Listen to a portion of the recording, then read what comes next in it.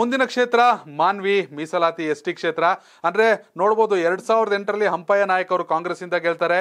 ಮತ್ತೆ ಹಂಪಯ್ಯ ನಾಯಕ್ ಅವರೇ ಎರಡ್ ಸಾವಿರದ ಹದಿಮೂರರಲ್ಲೂ ಗೆಲ್ತಾರೆ ಕಾಂಗ್ರೆಸ್ ಇಂದ ಎರಡು ಸಾವಿರದ ಹದಿನೆಂಟರ ಚುನಾವಣೆಯಲ್ಲಿ ರಾಜ ವೆಂಕಟಪ್ಪ ನಾಯಕ್ ಅವರು ಜೆ ಡಿ ಎಸ್. ಅಂದ್ರೆ ಉತ್ತರ ಕರ್ನಾಟಕದಲ್ಲಿ ಹಳೆ ಮೈಸೂರು ಪ್ರಾಂತ್ಯದಲ್ಲಿ ಏನೊಂದು ವರ್ಚಸ್ಸನ್ನು ಮೈಂಟೈನ್ ಮಾಡಿರೋ ಜೆ ಡಿ ಎಸ್ ದಳಪತಿಗಳು ಎರಡು ಸಾವಿರದ ಹದಿನೆಂಟರಲ್ಲಿ ಲಗ್ಗೆ ಇಡ್ತಾರೆ ರಾಜ ವೆಂಕಟಪ್ಪ ನಾಯಕ್ ಮೂಲಕ ಮಾನ್ವಿಯಲ್ಲಿ. ಹೀಗಾಗಿ ಮತ್ತೊಂದು ಕಡೆ ಬಿಜೆಪಿಯಿಂದ ಯಾರನ್ನ ನಿಲ್ಲಿಸಬೇಕು? ಶಿವನಗೌಡ ನಾಯಕ್ ಅವರಿಗೆ ಟಾರ್ಗೆಟ್ ಕೊಟ್ಟಿರೋದ್ರಿಂದ ಅವ್ರ ಬೆಂಬಲಿಗರು ಅನ್ನೋ ಮಾತು ಕೇಳಿ ಬರ್ತಾ ಇದೆ. ನಮ್ಮ ಸರ್ವೆ ಏನ್ ಹೇಳ್ತಾ ಇದೆ ಶಿವ? ಇಲ್ಲೇನು ಅಂದ್ರೆ ಶಿವನಗೌಡ ನಾಯಕ್ ಮೊನ್ನೆ ಮಾನ್ವಿಲಿ ಅತಿ ಜೋರಾಗಿ ಬರ್ಡೇ ಎಲ್ಲ ಮಾಡ್ಕೊಂಡ್ರು. ಸವಾಲ್ ಹಾಕಿದ್ದು ಇಲ್ಲೇ ಕೂತ್ಕೊಂಡು ನಿಂತ್ಕೊಂಡಿದ್ದು. ರಾಯಚೂರು ನನ್ನ ಕೋಟೆ ಅನ್ನೋ ಲೆಕ್ಕಾಚಾರದಲ್ಲಿ ಅವ್ರು ಹೇಳ್ತಾವ್ರೆ. ಇಲ್ಲಿ ಶಿವನಗೌಡ ನಾಯಕ ನಿಲ್ಲಬಹುದು ಅಥವಾ ಅವ್ರ ಬೆಂಬಲಿಗೆ ನಿಲ್ಲಿಸಬಹುದು ಅಂತ.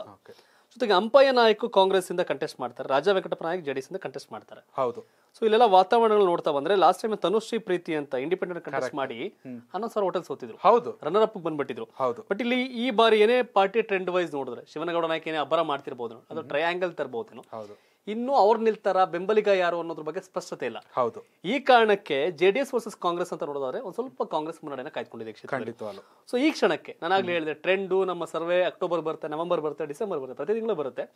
ಬಟ್ ಈ ತಿಂಗಳ ಟ್ರೆಂಡು ಕಾಂಗ್ರೆಸ್ ಪರವಾಗಿ ವರ್ಕೌಟ್ ಆಗುವಂತೆ ಈ ತಿಂಗಳ ಟ್ರೆಂಡ್.